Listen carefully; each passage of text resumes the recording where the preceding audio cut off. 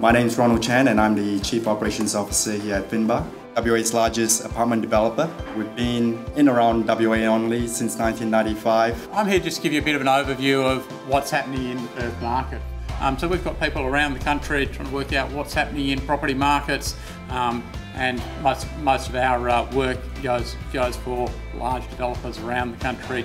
Strata can be a bit of a foreign concept until you experience it for the first time but as I said we're definitely moving that way and it's important to educate yourself before you start uh, looking to move into an apartment.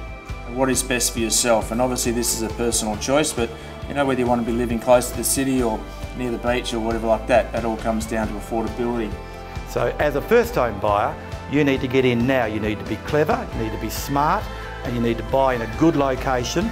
We will be hosting uh, further seminars on a monthly basis, so come along, have a chat to me or the guys here, and uh, we'll see you again soon. Thanks.